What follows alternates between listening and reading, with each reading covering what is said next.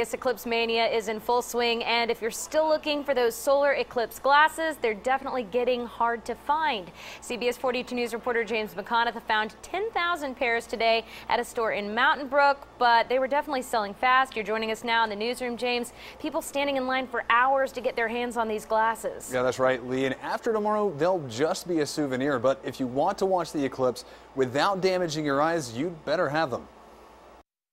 I was afraid that I would want to peek without the glasses. So I got up this morning and I told my husband, I don't care how long it takes, I'm going to get some glasses today. Kathleen Langsdale stood in line outside Smith's Variety Store for two hours today before they opened, and there were 20 people ahead of her. I'm very excited. This is a once in a lifetime uh, for the amount of eclipse that we're going to get to see tomorrow. Thank you. Thank you. The last time we had something like this was the Beanie Baby era, where we sold 8,000 Beanie Babies in about an hour and a half. Jim Glazner, the owner at Smith's Variety, said they've been selling out of the glasses on a daily basis.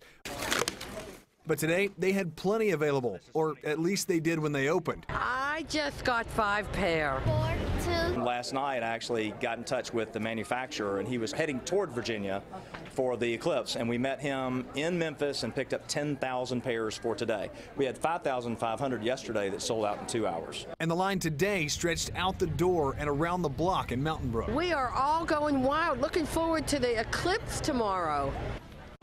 Now, if you're still looking for a pair, be sure that you get a pair that will actually protect your eyes. We have a lot more information about the eclipse and ways to watch it on our CBS 42 app. Live in the newsroom, James McConaughey, CBS 42 News. Local coverage you can count on.